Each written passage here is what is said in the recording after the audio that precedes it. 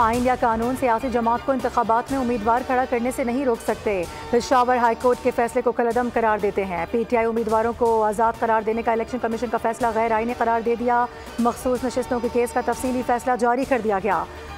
सत्तर सफ़ात पर मुश्तमिल फैसला। जस्टिस मंसूर अली शाह ने तहरीर किया। सुप्रीम कोर्ट ने कहा कि आइन और जमहूरियत की बुनियाद अवाम की राय और मर्ज़ी है। जमहूरियत की बुनियाद साफ़ और शफाफ इंतबात पर है। पाकिस्तान तहरीक इंसाफ को मखसूस नशस्तें देने का हुक्म। सुप्रीम कोर्ट के तेरह में से आठ जजेज ने अक्सरियती फैसला बारह जुलाई को दिया था।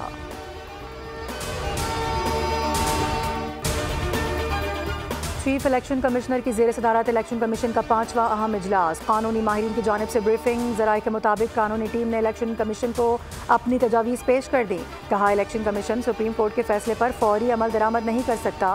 कानूनी टीम की राय है कि सुप्रीम कोर्ट के फैसले पर अमल दरामद से मजीद पेचीदगियाँ पैदा होंगी। सुप्रीम कोर्ट के फैसले पर अमल दरामद से इलेक्शन तरमीमी एक्ट भी मुतासर हो जाएगा।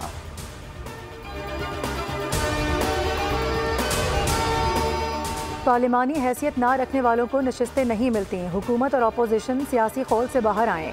कोई पार्लियामेंट को कैसे कह सकता है कि कानून पास करें?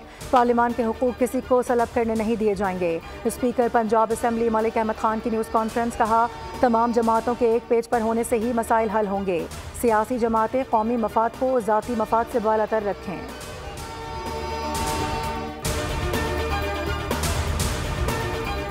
यूएन जनरल असम्बली का अजलास वजी अजम शहबाज शरीफ आज न्यूयॉर्क पहुँचेंगे। वजी अजम सत्ताईस सितंबर को जनरल असम्बली के अजलास से खिताब करेंगे। मसला फ़लस्तीन और कश्मीर समेत देरीना मसाइल को हल करने की अहमियत पर ज़ोर दिया जाएगा।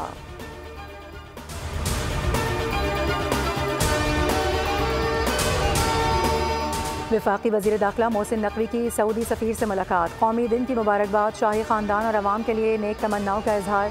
मोहसिन नकवी ने कहा, सऊदी अरब ने हर आजमाइश में पाकिस्तान का पूरा साथ दिया है।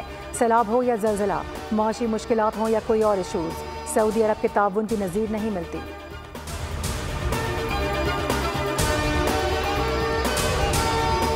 और के इलेक्ट्रिक एक माफिया है। इसे लगाम देना होगा। पाकिस्तान में इस वक्त बिजली का बहरान है। लोग तैयार हो रहे हैं। एहतजाज का दायरा वसी होगा।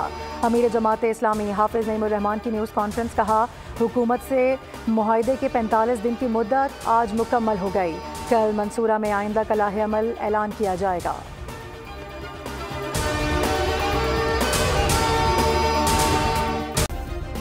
सब्सक्राइब करें और बेल दबाएँ ताकि कोई खबर रह न जाए।